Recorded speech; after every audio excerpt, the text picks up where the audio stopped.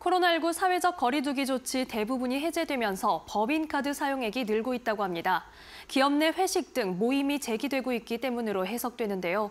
대표적인 수혜주는 무엇일지 이지혜 기자가 취재했습니다. 2년간 지속돼온 코로나19 사회적 거리두기 조치 대부분이 해제되면서 일상 회복 기대감이 커지고 있습니다.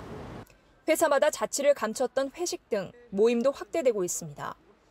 실제 지난 2월 법인카드 승인 금액은 14조 2천억 원을 기록했습니다. 1년 전보다 14%, 금액으로는 1조 7천억 원 늘어난 수준입니다. 같은 기간 개인카드의 승인 금액 증가율과 비교해도 2배 가까이 늘었습니다. 특히 2월 법인카드 결제 건당 승인 금액이 14만 원을 넘어섰는데 이는 코로나19 이전인 2019년 4월 이후 처음입니다. 이번 주부터 영업 제한 조치가 전면 해제되면서 관련 소비 수요는 더 확대될 전망입니다. 이에 주류업계가 매출 증가를 기대하고 있습니다.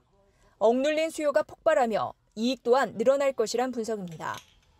업계에 따르면 전체 주류 시장 중 유흥 시장 비중은 40%로 2020년 30%에서 큰 폭으로 늘어났습니다. 실제 최근 주류주는 가파른 상승세를 보였습니다.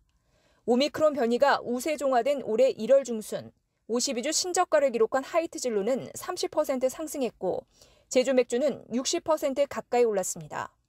롯데 칠성은 어제 52주 신고가를 갈아치우며 19만 원을 탈환했습니다. 이 같은 주가 상승에는 주류 가격 인상에 따른 실적 개선감도 한몫했습니다. 하이트 진로는 지난 2월과 3월에 각각 소주와 맥주의 출고가를 롯데 칠성 음료 역시 지난달 소주 가격을 인상한 바 있습니다. 거리두기 완화 조치와 주류 가격 인상에 따른 매출 증대 기대감에 증권가에서도 주류주의 목표 주가를 올리는 모습입니다. 다만 최근 가파른 주가 상승은 기대감이 선 반영돼 있다며 상대적으로 저평가된 종목에 투자하는 것도 바람직하다는 의견도 나왔습니다. 이 기업들의 어떤 이익이라든가 향후 또 전망이라든가 또 주가의 시가총액 이런 것들을 좀 비교 분석하셔 가지고 상대적으로 좀 저평가되고 좀 덜 오른 주류주가 있다면 그쪽을 좀 선택하는 게 좋을 것 같고요. 막걸리 만드는 그 국순당 이런 기업들은 상대적으로 밸류도 굉장히 좀 저평가돼 있기 때문에 좀 투자 포인트를 한번 이제 국순당 같은 좀 새로운 기업들로도 확대시켜 보는 것도 좀 좋지 않을까라고 생각을 하고 있습니다.